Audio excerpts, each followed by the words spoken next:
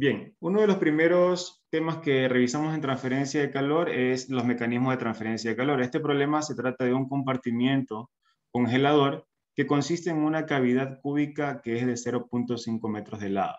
Entonces, lo primero que yo recomiendo aquí es hacer una columna de datos. Ponemos datos. Y vamos a anotar el conjunto de datos que van a ir saliendo de este problema. Entonces, es una cavidad cúbica de 0.5 metros de lado, entonces a decir que esa es una variable o un dato del problema que es 0.5 metros. Dibujar una cavidad cúbica va a ser un poco complicado, por lo tanto lo que voy a dibujar sería una cavidad bidimensional que vendría a estar conformada por, obviamente, una cara cuadrada.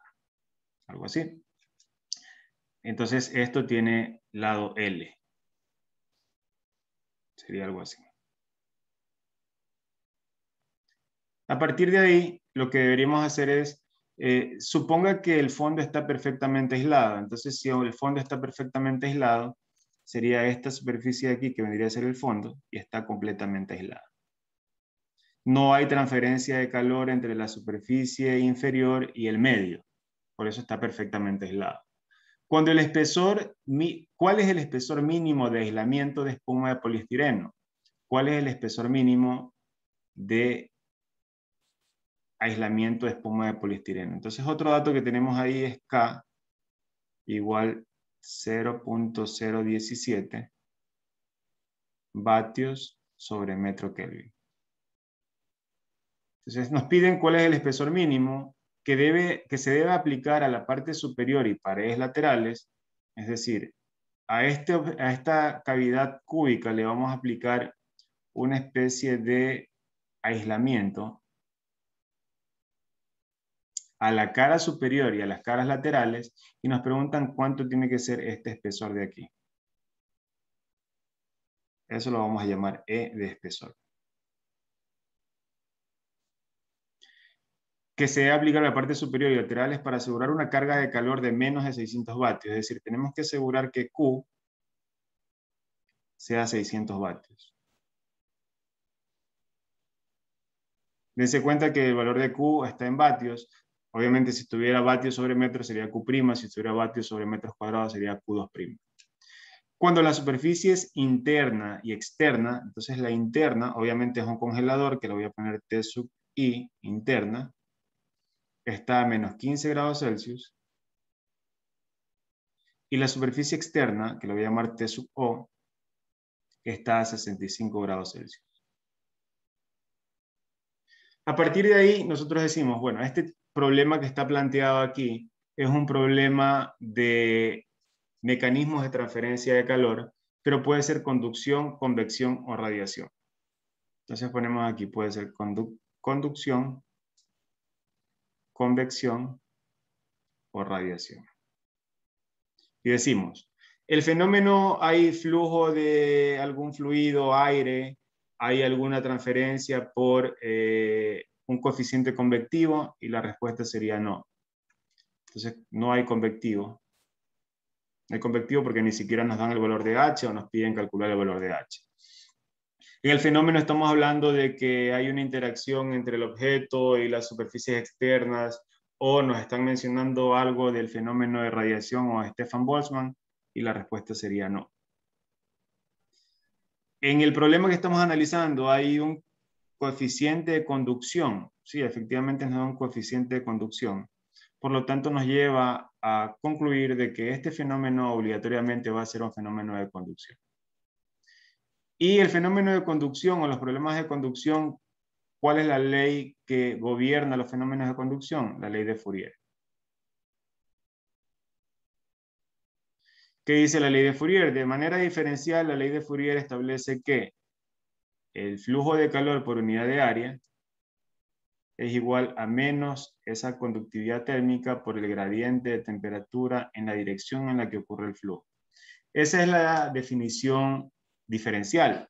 Sin embargo, para nuestro análisis, vamos a hacer el análisis un poco más sencillo y podríamos decir que ese flujo de calor Q no va a ser nada más que K por el gradiente o la diferencia de temperatura en ese espesor que está ocurriendo el flujo de calor.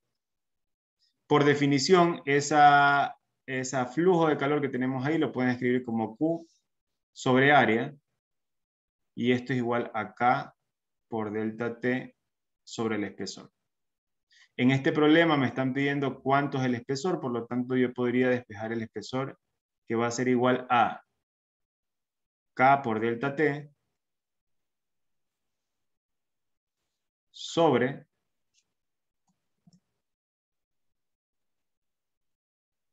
Q y el área estaría aquí dividiendo, pasa al otro lado a multiplicar. Sería básicamente lo que tenemos ahí. ¿Qué variables conozco? Bueno, de este problema que está planteado aquí, si conozco K, conozco delta T, conozco Q como dato del problema y conozco el área.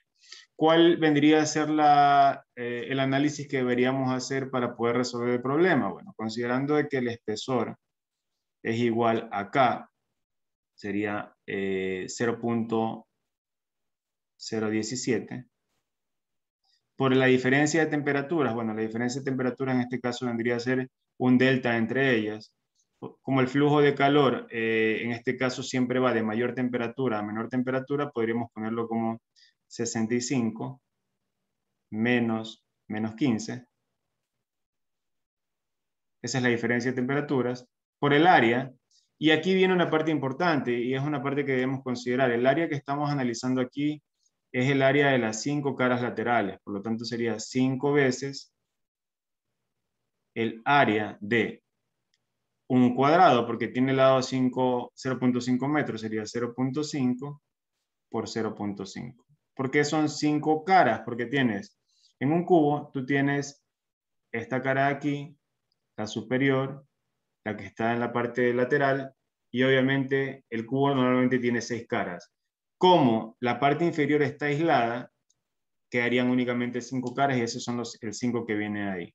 Todo esto tenemos que dividirlo para eh, la cantidad de calor, en este caso vendría a ser eh, da un dato del problema, a ponerlo aquí así, dividido para, para con este valor de aquí. Sería 600 vatios. Entonces, a partir de eso, lo único que hacemos es el cálculo, vamos a ponerlo el espesor, sería como si, entonces sería 0.017 por 65 menos menos 15 por 5 por 0.5 al cuadrado y todo eso dividido para 600. Y nos dicen que el espesor del poliestireno que tenemos ahí debería ser de 2.83 por 10 a la menos 3 metros, o lo que vendría a ser milímetros.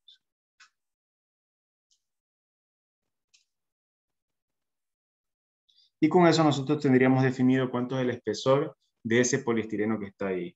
Recomiendo obviamente que siempre tengan las unidades en el sistema internacional para que las respuestas les queden en el sistema internacional. En este caso quedaba 2.83 por 10 a la menos 3, pero desde luego que eh, dado que estaba en metros, puedo llevarlo a milímetros.